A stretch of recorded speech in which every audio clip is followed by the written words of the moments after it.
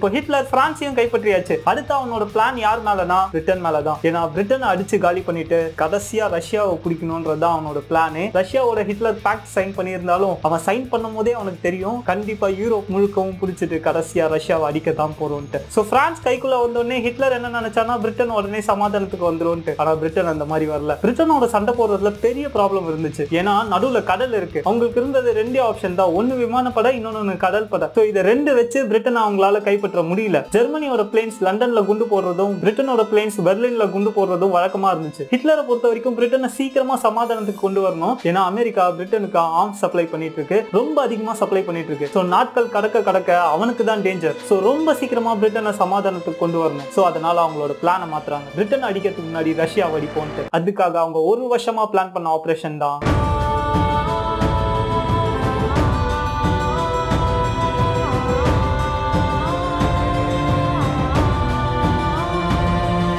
இது வரைக்கும் மனித வரலாற்றிலே வேர்ல்டு வார் டூலயே அதிகமா டேமேஜ் ஏற்படுத்தினது இந்த ஆபரேஷன் பர்பரோசா தான். ஏன்னா சோவியத் யூனியன் ரஷ்யாவை சமாளிக்கிறதுன்றது சாதாரண விஷயம் இல்ல. மத்த நாடுகள்ல இயங்கிட்டு இருந்த ஜெர்மனியோட காலப்படையெல்லாம் ஒன்று சேர்க்கிறாங்க. மொத்தம் முப்பது லட்சம் படை வீரர்களை சோவியத் யூனியன் அட்டாக் பண்ண அனுப்புறாங்க.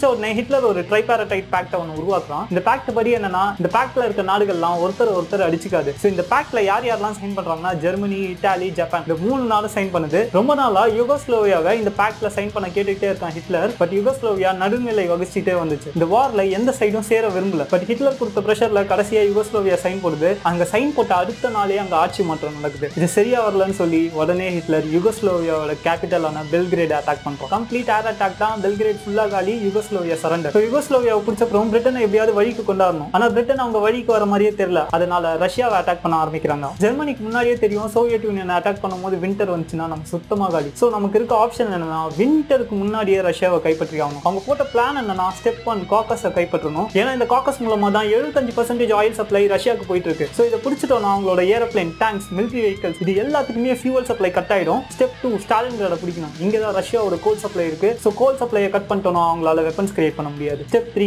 ரஷ்யாவோட கேபிட்டலான மாஸ்கோவை பிடிக்கணும். இது எல்லாமே வின்டருக்கு முன்னாடியே பிடிக்கணும். ஏன்னா வின்டர்ல Moscow minus fifty degree minus sixty degree Celsius கூட ரீச் ஆகும். ஸோ அதனால வின்டருக்கு முன்னாடியே இந்த மூணு ஸ்டெப்ஸும் முடிக்கணும்ன்றது தான் ஹிட்லரோட plan so nineteen twenty one June இருபத்தி ரெண்டாம் தேதி ஆபரேஷன் பர்பரோசா ஸ்டார்ட் ஆகுது. ஜெர்மனி கிட்ட முப்பது லட்சம் சோல்ஜர்ஸ் மூவாயிரத்தி அறுநூறு டேங்க்ஸ் ஆறு லட்சம் மிலிட்ரி வெஹிக்கல்ஸ் ரெண்டாயிரத்தி ஐநூறு ஏர்கிராஃப்ட் இருந்துச்சு. இதே சோவியத் யூனியன் கிட்ட முப்பது லட்சம் சோல்ஜர்ஸ் பதினாலாயிரத்துல இருந்து பதினஞ்சாயிரம் டேங்க்ஸ் எட்டாயிரத்துல இருந்து ஒன்பதாயிரம் ஃபைட்டர் பிளேன்ஸ் இருந்துச்சு. இது ஜெர்மனி மிலிட்டரியை கம்பேர் பண்ணும்போது மூணு மடங்கு ஜாஸ்தி. ஸோ இதை எப்படி சமாளிக்கிறது? ஃபர்ஸ்ட் டேல இருந்தே ஆட்டத்தை ஸ்டார்ட் பண்ணணும். யூஸ்வலா காலப்படைக்கு உதவியா தான் ஃபைட்டர் பிளேன்ஸ் போகும். ஆனா ஃபர்ஸ்ட் டே ஹிட்லர் அவனோட ரெகுலர் ஸ்ட்ராட்டஜியை மாத்திரம் மிலிட்டரி அஃபிஷியல்ஸ்க்கு கொடுத்த ஆர்டர் என்னன்னா அந்த ஃபைட்டர் பிளேன்ஸ் டைரக்டா போய் ரஷ்யாவோட ஏர்பேஸ் அட்டாக் பண்ணும். இது செம்மையான ஸ்ட்ராட்டஜி ஏன்னா ரஷ்யா எதிர்பார்க்கவே இல்லை. முதல் நாளே ரஷ்யா ஒரு ஆயிரம் பிளேன்ஸ் காலி. ஸோ ரெண்டாவது ஸ்ட்ராட்டஜி என்னன்னா ஒரே இடத்துல மொத்த மிலிட்ரி க்ரூஸையும் அடிச்சு உள்ள நவுட்டாம பல இடங்களா மிலிட்ரி க்ரூஸ் பிரிஞ்சு அடிக்க ஆரம்பிச்சது. முக்கியமா அவங்க ரெண்டு பகுதியா பிரிஞ்சாங்க. ஒன்னு லுத்துவேனியாவை அட்டாக் பண்ற வழி இன்னொன்னு உக்ரைன் அட்டாக் பண்ற வழி ஏன்னா உக்ரைன் அட்டாக் பண்ணி அது மூலமா தான் காக்கஸை பிடிக்க முடியும். அது வழியாவே மாஸ்கோவுக்கும் போயிடலாம். ஸோ முதல் வாரத்திலேயே ஜெர்மனியோட ஆர்மி தான் டாப்ல இருக்கு. லுத்வேனியா லட்வியாவை பிடிச்சிட்டாங்க. மின்ஸ்க சுத்தி வளைச்சிட்டாங்க ஸோ இந்த டைம்ல ஜெர்மனி நம்பிட்டு இருந்துச்சு. கண்டிப்பா நம்ம விண்டருக்கு முன்னாடியே ரஷ்யாவை காலி பண்ணிடுவோம் என்னைக்கு ஆபரேஷன் பர்பரோசா ஸ்டார்ட் ஆச்சோ அன்னைக்கே டிசைட் பண்றாங்க. ஜூஸ் ஒருத்தன் கூட உயிரோட இருக்க கூடாது நம்ம ஒருத்தனையும் நாடு கடத்த போறது இல்லைன்ட்டு இதுக்கான காரணம் என்னன்னா ஏற்கனவே போலாண்ட்ல அவங்க நாசி கீட்டோஸ்ல பிடிச்சி வச்சிருந்த ஜூஸ் வேலை பலுனாலையும் தொற்று நோயினாலையும் போதிய உணவில்லாமையும் சாக ஆரம்பிக்கிறாங்க. ஸோ இதுவே ஒரு நல்ல ஐடியாவே இருக்கு. ஒன்ஸ் நம்ம ரஷ்யாவை பிடிச்சிட்டோம்னா இங்க இருக்க நாசி கீட்டோஸ் கேம்ப் எல்லாம் எடுத்துட்டு போய் ரஷ்யாவோட மிடில் பகுதியில மாத்துவோம். அவங்க குளிர்லயே உறைஞ்சு செத்துருவாங்க அப்படின்றத டிசைட் பண்றாங்க. அது மட்டும் இல்ல இது வரைக்கும் நம்ம யூரோப்ல பிடிச்ச ஜூஸ் ரஷ்யால இதுக்கப்புறம் பிடிக்க போற ஜூஸ் இது எல்லாத்தையும் சேர்த்தா மூணு கோடி பேர் வரும். ஸோ இந்த மூணு கோடி பேரை எப்படி மடகாஸ்கருக்கு டிரான்ஸ்போர்ட் பண்ண முடியும்? எப்படி பிளான் போட்டாலும் குறைஞ்சது முப்பது வருஷமாவது ஆகும். ஸோ ஈஸியான வழி அவங்க ரஷ்யாவை பிடிச்சப்பறம் உறைஞ்சே சாவது தான் அப்படின்றத முடிவெடுத்தாங்க. ஜூலை எண்ணில் பார்த்தீங்கன்னா ஜெர்மனியோட விமானப்படையும் காலப்படையும் சோர்வடைய ஆரம்பிச்சது. அதுக்கான காரணம் என்னன்னா என்னன்னா சோவியத் யூனியன் ரொம்ப பெருசு. அவங்க நினைச்ச அளவுக்கு ஸ்பீடா அவங்களால போக முடியல. ஆக்சுவலா ஜெர்மனி இது வரைக்கும் சோவியத் யூனியன்ல பிடிச்ச இடத்த விட ஜாஸ்தி இடத்த பிடிச்சிருக்கணும் அவங்க பிளான் படி. ஆனா அவங்களால பிடிக்க முடியல. இந்நேரத்துக்கு அந்த காலாட்படையும் விமானப்படையும் ஒரு பிரேக் எடுத்திருக்கணும். ஆனா அவங்களோட டார்கெட் அச்சீவ் பண்ணாததுனால கண்டினியூஸா ஃபைட் பண்ணி உள்ள போயிட்டே இருக்காங்க. சோ இதனாலதான் விமானப்படையும் காலாட்படையும் பயங்கர டயர்டா இருக்கு. ஏன்னா அவங்களுக்கு வேற ஆப்ஷனே இல்ல. அவங்க செட் பண்ண டார்கெட் எல்லாம் கரெக்டான டேட்ஸ்ல அச்சீவ் பண்ணாதான் விண்டருக்கு முன்னாடி மாஸ்கோவை பிடிக்க முடியும். பட் பிரேக் விடாம மிலிட்டரி அட்டாக் பண்ண வைக்கிறது ஒரு டவுன் சைடு இருக்கு. என்ன டவுன் சைடு தான் இது வரைக்கும் ரிப்பேர் ஆன பிளேன்ஸையும் ரிப்பேர் ஆன டேங்க்ஸையும் அவங்களால சர்வீஸ் பண்ண முடியல. ஸோ அதனால இப்போதைக்கு சர்வீஸ்ல இருக்க பிளேன்ஸ் பார்த்தீங்கன்னா வெறும் ஆயிரத்தி நாற்பத்தஞ்சு பிளேன்ஸ் தான். இதே மாதிரி நிறைய டேங்க்ஸும் சர்வீஸ் பண்ண முடியாம ரிப்பேர்ல கிடக்கு. ஜெர்மனியால ஏன் அவங்க பிளான் பண்ண டார்கெட்டை சொன்ன டேட்ல அச்சீவ் பண்ண முடியலன்னா சோவியத் யூனியனோட ஜாகிரபி உங்களுக்கு கிளியரா தெரியவே இல்லை. எந்த இடத்துல பள்ளத்தாக்கு வரும் எந்த இடத்துல காடு வரும் எந்த இடத்துல சதுப்பு நிலம் வரும் எந்த இடத்துல மலைகள் வரும் எந்த இடத்துல நதிகள் வரும் ஏன் எந்த இடத்துல கடல் வரும் கூட அவங்களுக்கு தெரியல. அது மட்டும் இல்ல ரஷ்யாவோட ஆர்மி ஸ்ட்ராட்டஜியில வீக்னாலும் அவங்க கிட்ட ரிசோர்சஸ் ஜாஸ்தி இருந்துச்சு. ஜெர்மனி ஒரு பத்தாயிரம் வீரர்களை காலி பண்ணுச்சுன்னா திரும்பவும் பத்தாயிரம் வீரர்களை ரஷ்யா கொண்டு வந்து இறக்கும். எங்க இருந்து தான் வராங்களேன்னு தெரியாது. ஸோ ஜெர்மனி ஆர்மி பயங்கர டயர்டா ஆரம்பிச்சது. ஸோ செப்டம்பர் மாசம் யுக்ரைனுக்குள்ள இன்வைட் பண்ண ஆரம்பிச்சிட்டாங்க. ஸோ உக்ரைனோட கேபிட்டலான கீவை பிடிச்சிட்டு காக்கஸை பிடிக்கிறது தான் எங்களோட பிளானே ஸோ செப்டம்பர் மாசம் இறுதியில உக்ரைனை பிடிச்சிட்டாங்க. பட் பிரச்சனை என்னன்னா இது வரைக்கும் கிட்டத்தட்ட ஒரு அஞ்சுல இருந்து ஆறு லட்சம் சோல்ஜர்ஸ் காலி. அவங்க கொண்டு வந்த பாதி டேங்க்ஸ் ஒர்க் ஆகல. செப்டம்பர் முடிஞ்ச அக்டோபர்ல மழையும் பெய்ய ஆரம்பிச்சது. ஸோ அக்டோபர் ரெண்டாம் தேதி ஆபரேஷன் டைக்கூன்றத ஸ்டார்ட் பண்றாங்க. இது என்னன்னா கம்ப்ளீட் அஃபென்ஸ் ஸ்ட்ராட்டஜி எவன் வந்தாலும் கண்ணு முன்னாடி அடிச்சு தூக்கிட்டு ஸ்ட்ரெயிட்டா மாஸ்கோக்கு போயிட்டே இருக்கணும். வேற எதை பத்தியும் யோசிக்க கூடாது. இதுதான் அவங்க மிலிட்டரிக்கு கொடுத்த கடைசி புஷ்ஷே கடைசி ஸ்ட்ராட்டஜியே இது வரைக்குமே அவங்க கிட்ட தோராயமா ஒரு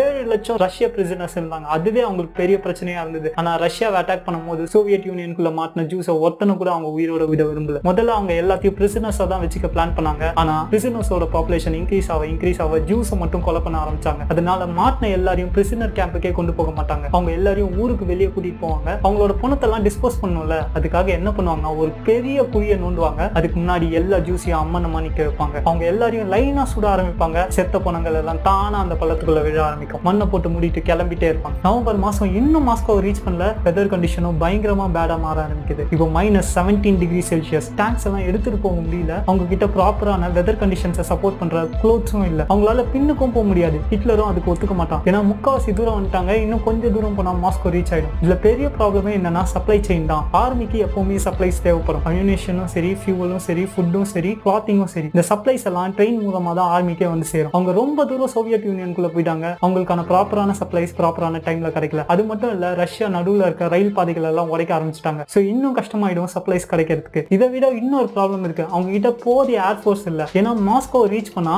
ஏர்ஃபோர்ஸ் மூலமா தான் மாஸ்கோவை பிடிக்க முடியும். வெறும் ஆர்மியை வச்சே பிடிக்கணும்னா ஸ்ட்ரீட் பை ஸ்ட்ரீட் ஒவ்வொரு தெருவா பிடிச்சாகணும் இது ரொம்ப கஷ்டம். பட் ஆனாலும் ஹிட்லர் படைகளை முன்னேறி போக சொன்னான். டிசம்பர் ரெண்டாம் தேதி ஒரு வழியா ஜெர்மனி படைகள் மாஸ்கோ ரீச் பண்ணிடுச்சு. டிசம்பர் நாலாம் தேதி மைனஸ் முப்பத்தஞ்சு டிகிரி செல்சியஸ் இப்போ ரஷ்யா கவுண்டர் அட்டாக் பண்ண ஆரம்பிச்சிச்சு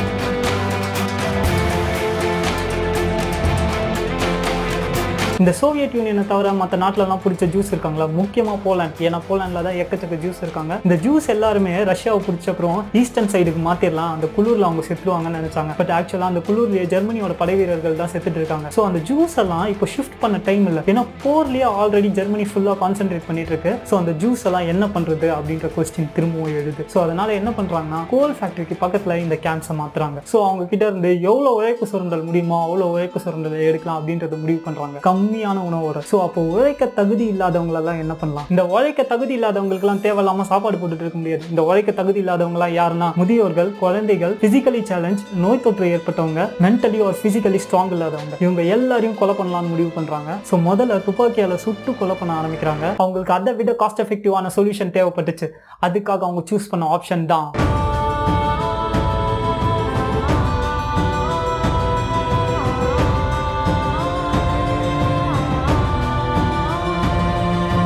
கான்சென்ட்ரேஷன் கேம்ப்குள்ள வர ஜூஸ் எல்லாம் முதல்ல தரம் பிரிக்க ஆரம்பிச்சாங்க. ஆம்பளைங்க பொம்பளைங்க குழந்தைங்கன்ட்டு. அதுக்கப்புறம் அவங்களோட கைகளில் பச்சை குத்துவாங்க. பச்சை குத்துனா அவங்க உயிரோட இருக்கலாம். பச்சை குத்துலனா அவங்கள சாவடிக்க போறாங்கன்னு அர்த்தம். ஸோ இந்த பச்சை குத்தாத ஜூஸ் எல்லாம் தனியாக கூட்டிட்டு போய் முதல்ல குளிச்சுட்டு வாங்க. அப்புறம் உங்களுக்கு சாப்பாடு போடுறோம் அப்படின்னு சொல்லுவாங்க. குளிக்கிறதுக்காக ஒரு பெரிய அறைக்குள்ள கூட்டிட்டு போவாங்க. அவங்க எல்லாரும் உள்ள போனோடனே அந்த அறையை மூடிட்டு பாய்ஸ்னஸ் கேஸ் அனுப்ப ஆரம்பிப்பாங்க.